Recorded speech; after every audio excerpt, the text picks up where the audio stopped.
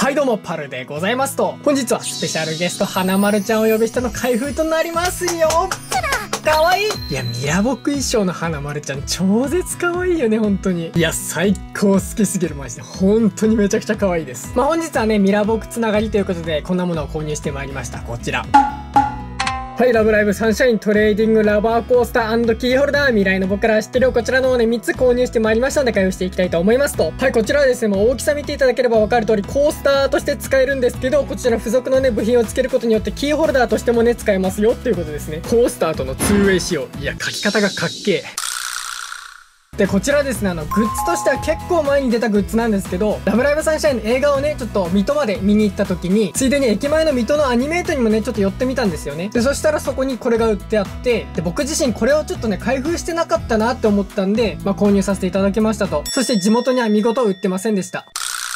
なのでね、こちらに関しては取り扱ってる店舗があったりなかったり、やじばんだりだったりするんですけど、まあ、せっかく見つけたならね、買ってみようかということでね、購入に至りましたと。じゃあ早速ね、開封の方に移らせていただきたいと思います。結構がっつりテープで止められてるなこれ。あー怖いあーめっちゃ怖い。めっちゃ怖い。テープで止められてさらにのり付けまでしたのかこれ。やっべえなこれ。はいじゃあ1つ目見ていきましょう。戦闘の跡がすげえ。では見ていきます。3、1、はいと。おー、よしこちゃん。ヨハネちゃんじゃないですか。いや、めちゃくちゃ可愛いな、本当に。いや、素晴らしいな。てか、さすがだね。さすがの大きさだね、これね。ラバーコースターに使えるっていうだけあるんで、もう絶対使わねえと思うんだよな、もったいなくて。とりあえず開けていきましょう。いや、もう吉丸ですね。もう完全に吉丸っすよ、これは。いや、ほんとさ、こういうちびキャラになったやつめちゃくちゃ可愛いよね、本当にね。目が素敵。このさ、ラバストとかもそうなんだけどさ、本当に目が素敵でね、めちゃくちゃ可愛いんでね、裏面は普通にこういう感じでラブラブサンシャインのロゴが入ってるだけですね。と、なるほどね。いや、めっちゃ好き。超絶可愛いっす。このさ、周りにこう虹がぐるーってかかってるのもいいよね。ミラボクの時点ではね、まだ虹の中に入ってる彼女たちだけど、映画ではこの虹を越えていく、そう、オーバーザレインボー。ありがとうございます。皆様ぜひ劇場へ。というわけで一つ目はね、ヨハネちゃんが当たりましたと。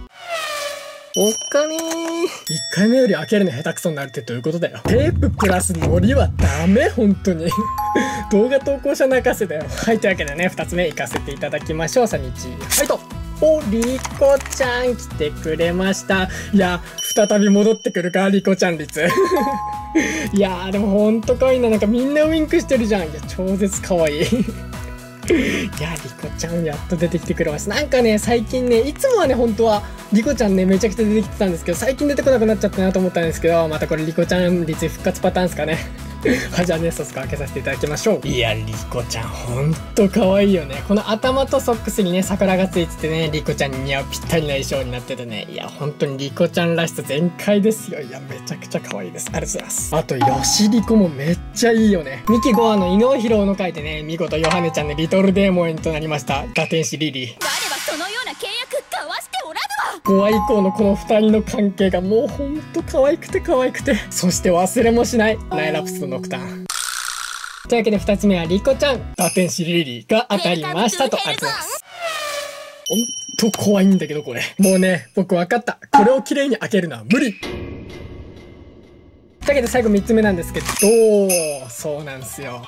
そうなんですよ、皆様。あと1人。まあ、誰が当たるかっていうのがね、ここですごく重要になってきますね。というわけで3つ目、行かせていただきましょう。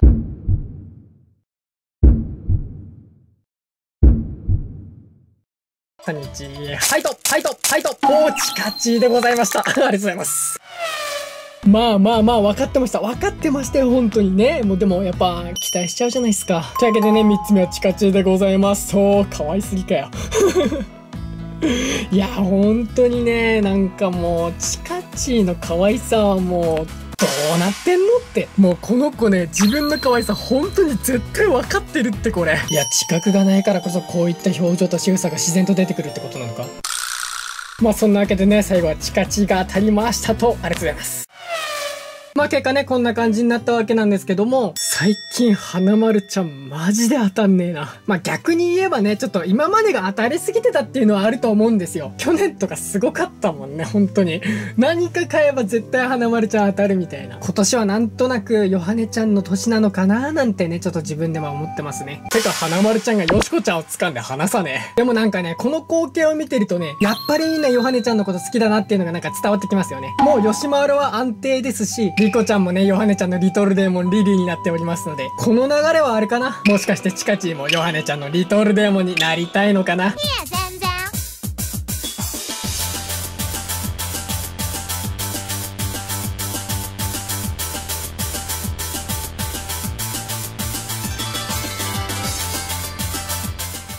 たまには普通の挨拶もします。ご視聴ありがとうございました。もしよろしければチャンネル登録、Twitter のフォロー、サブチャンネルのチャンネル登録の方よろしくお願いいたします。と、では、さようなら。